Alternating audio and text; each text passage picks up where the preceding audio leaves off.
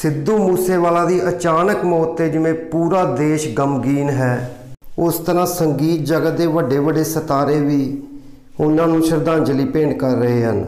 ਸੰਗੀਤ ਦੇ ਬਾਬਾ ਬੋੜ ਕਹੇ ਜਾਣ ਵਾਲੇ ਗੁਰਦਾਸ ਮਾਨ ਜੀ ਨੇ ਉਹਨਾਂ ਦੇ ਪਿੰਡ ਪਹੁੰਚ ਕੇ ਉਹਨਾਂ ਨੂੰ ਸ਼ਰਧਾਂਜਲੀ ਦਿੱਤੀ। ਸੁਣੋ, ਗੁਰਦਾਸ ਮਾਨ ਜੀ ਨੇ ਸਿੱਧੂ ਦੇ ਬਾਰੇ ਵਿੱਚ ਕੀ ਕਿਹਾ?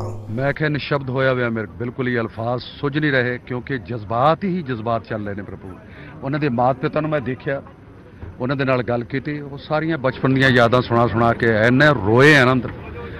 ਕੋਈ ਵੀ ਸ਼ਬਦ ਬੋਲਣ ਨੂੰ ਦਿਲ ਨਹੀਂ ਕਰਦਾ। ਮੇਰੇ ਖਿਆਲ ਹੈ ਇੰਨਾ ਪਿਆਰ ਕਰਨ ਵਾਲੀ ਜਿਹੜੀ ਦੀ ਸੰਗਤ ਆਈ ਹੈ ਨਾ ਜਿਹੜੀ ਮੈਂ ਇਹਨਾਂ ਨੂੰ ਕੁਰਬਾਨ ਜਾਵਾਂ ਇਹਨਾਂ ਦੇ ਕਸਮ ਨਾਲ। ਮੈਂ ਇਹਨਾਂ ਦੇ ਚਰਨਾਂ ਨੂੰ ਮੱਥਾ ਟੇਕਦਾ ਕਿ ਕਲਾਕਾਰ ਨੂੰ ਪਿਆਰ ਕਿੰਨਾ ਕਰਦੇ ਨੇ ਬਾਬਾ ਇਹ ਪਿਆਰ ਜਿਸ ਸ਼ਖਸ ਨੂੰ ਮਿਲਦਾ ਹੋਵੇ ਉਸ ਤੋਂ ਉਸ ਤੋਂ ਵੱਡੀ ਗਨੀਮਤ ਕੋਈ ਨਹੀਂ ਹੁੰਦੀ। ਯਾਦਾਂ ਤੁਹਾਡੇ ਨਾਲ ਵੀ ਜੁੜੀ ਹੋਈਆਂ ਨੇ। ਯਾਦਾਂ ਮੇਰੇ ਨਾਲ ਜੁੜੀਆਂ ਸੀ। ਆਪ ਜਿਹੜਾ ਪ੍ਰੋਗਰਾਮ ਸੀ ਨਾ ਜੀ ਇੱਥੇ ਮਾਨਸਾ ਦੇ ਵਿੱਚ ਪ੍ਰੋਗਰਾਮ ਹੋਣਾ ਸੀ 12 ਨੂੰ ਹੋਣਾ ਸੀ। 11 ਨੂੰ ਉਹਦਾ ਜਨਮ ਦਿਨ ਸੀਗਾ। ਹਾਂਜੀ ਕਰਨ ਤੇ ਅਸੀਂ ਪਹਿਲਾਂ ਆਉਣਾ ਸੀਗਾ ਮੇਰਾ ਮੈਂ ਜਦੋਂ ਵੀ ਉਹਦੇ ਨਾਲ ਫੋਨ ਤੇ ਗੱਲ ਕਰਦਾ ਸੀ ਮੈਂ ਕਿਹਾ ਯਾਰ ਮੈਂ ਤੇਰੀ ਮਾਤਾ ਜੀ ਨੂੰ ਮਿਲਣਾ ਚਾਹੁੰਦਾ ਮਾਤਾ ਸ਼੍ਰੀ ਕਹਿੰਦਾ ਹੁੰਦਾ ਸੀ ਮੈਂ। ਉਹਨੇ ਇੱਕ ਦਿਨ ਆਪਣੇ ਮਾਂ ਨੂੰ ਮਤਲਬ ਉਹ ਫੋਨ ਲਾ ਸਪੀਕਰ ਸਪੀਕਰ ਤੇ ਮਤਲਬ ਆਪਣੇ ਮਾਪੇ ਨਾਲ ਗੱਲਾਂ ਕਰਵਾ ਰਹੇ ਨੇ।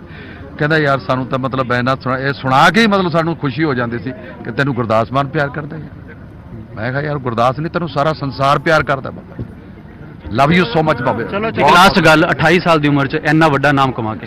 ਐਡਾ ਵੱਡਾ ਨਾਮ ਕੋਈ ਕਮਾ ਵੀ ਨਹੀਂ ਸਕਦਾ ਬਾਬਾ ਜੀ। ਕੋਈ ਕਮਾ ਵੀ ਨਹੀਂ ਸਕਦਾ। ਧੰਨ ਹੈ। ਧੰਨ ਹੈ ਉਹਨਾਂ ਦੇ ਮਾਤਾ ਪਿਤਾ ਔਰ ਧੰਨ ਹੈ ਉਹਨਾਂ ਦੇ fans love you so much Baba ji. Love you ਅਜਿਹੀਆਂ ਹੋਰ ਵੀ ਖਬਰਾਂ ਲਈ ਸਾਡਾ ਚੈਨਲ ਸਬਸਕ੍ਰਾਈਬ ਕਰੋ। Thank you